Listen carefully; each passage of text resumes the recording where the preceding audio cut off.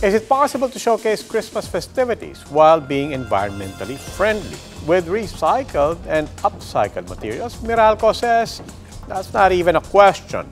In Meralco's Liwanag Park, children and the young at heart are taught that all that glitters can also come from discarded bottles of mineral water and energy drinks. From rubbish, these were transformed to Nemo, turtles, and small houses. There's also a train, a laser lights display, a tunnel, and a church. And perhaps the greatest gift of all, it's free. Liwanag Park will be open to the public until January 5 next year.